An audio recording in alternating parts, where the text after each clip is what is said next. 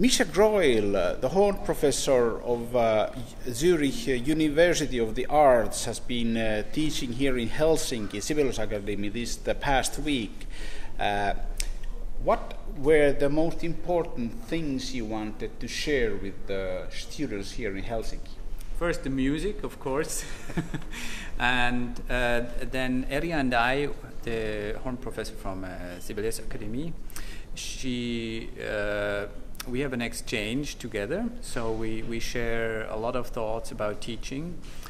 And uh, when she asked me to come, we, of course, we talked about making uh, exercise for the audition, but also training fundamental things uh, for horn play, playing. Uh, it seems to me that the, are the physical aspects of uh, brass playing becoming more important uh, and taken more seriously these days?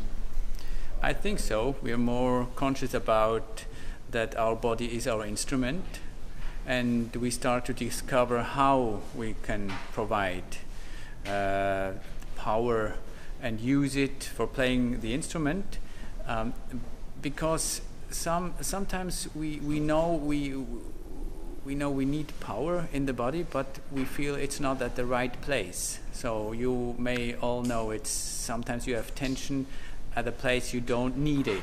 So so for example, we are working on that to provide tensity or muscle tone to another place in your body where it really can support your horn playing. Uh, if you do not know your, uh, know your body and muscles, what are the consequences in playing? I think you have to be conscious about certain feelings, how it feels, and how it infects your sound, and how you can use it in a good way uh, especially in concert situation. So that's what we're all struggling with. When we're at home, we know what to do and it feels good. And as soon as we're on stage, we're getting nervous. Then we feel somehow not grounded, maybe uh, shaking. And then we have to solve the problem and train in these situations. So we train the, the, the, the auditioning situations and then we focus on the things how we we can develop skills. For example, uh, we focus on feet, how how you have the contact with the floor, and often it helps to have a different focus than just to pe- to play right. Uh, well, did you learn yourself something new things to take back home to Zurich, here in Helsinki? Oh yes, uh, I learned a lot and because every student is different.